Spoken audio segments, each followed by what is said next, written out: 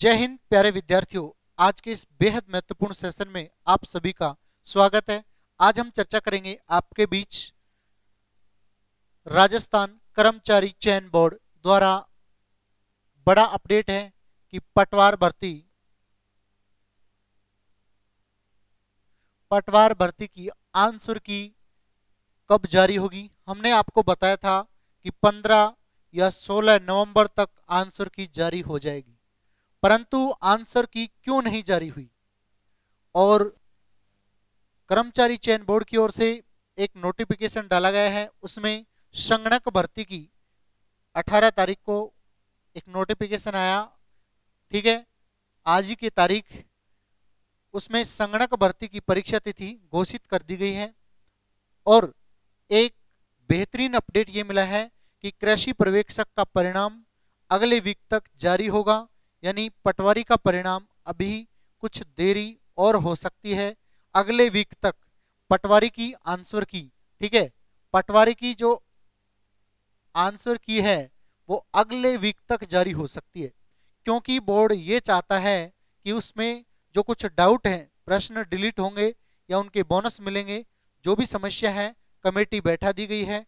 अगर कोई प्रश्न बाद में विवाद का हिस्सा बने और रीट की तरह कोर्ट में जाए ऐसा बोर्ड कभी नहीं चाहता, ठीक है?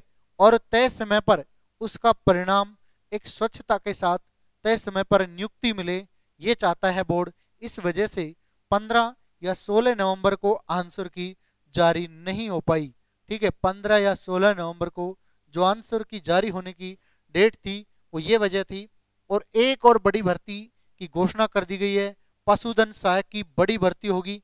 जो भी पशुधन सहायक के विद्यार्थी अगर हमसे जुड़ रहे हैं तो हमने जल्द ही पशुधन सहायक का अलग से बैच स्टार्ट करने की घोषणा कर दी गई है। और प्यारे विद्यार्थियों, रीट का परिणाम भी अभी और देरी लग सकती है। ऐसे में आप हमसे जुड़े रहें और सेकंड ग्रेड की जो भी तैयारी कर रहे हैं, वो भी अपनी तैयारी को बढ़ाएँ।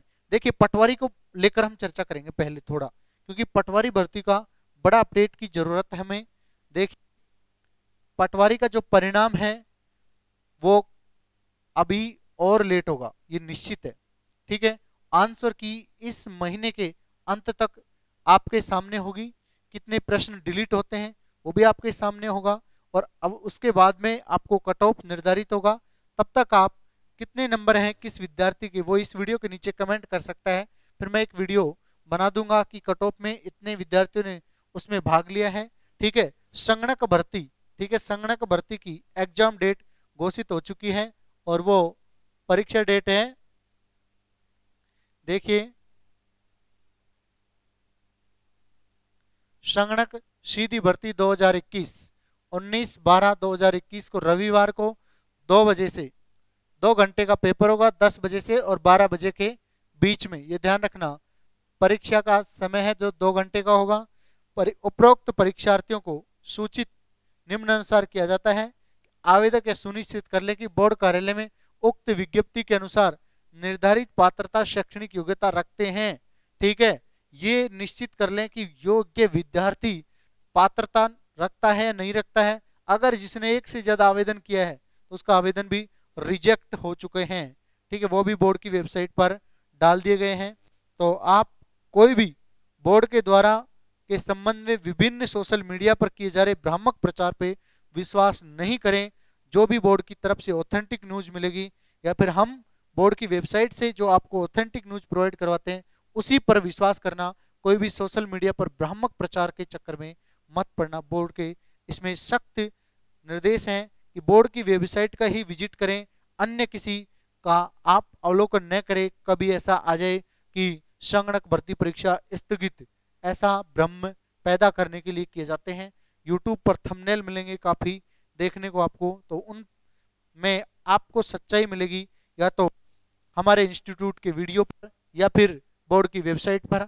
हम सत्य के साथ ही आपके बीच जो भी वीडियो है उपलब्ध कराते हैं। तो संगणक के एग्ज़ाम डेट पशुधन सहायक की विज्ञप्ति पशुधन सहायक की विज्ञप्ति दिसंबर महीने में आपको देखने को मिलेगी। पशुधन सहायक की विज्ञप्ति दिसंबर महीने में, ठीक है? जबकि और जलदाय विभाग में भी एक बड़ी भर्ती होगी। इसी के साथ पशुधन सहायक के साथ ही विज्ञप्ति आ जाएगी, ठीक है?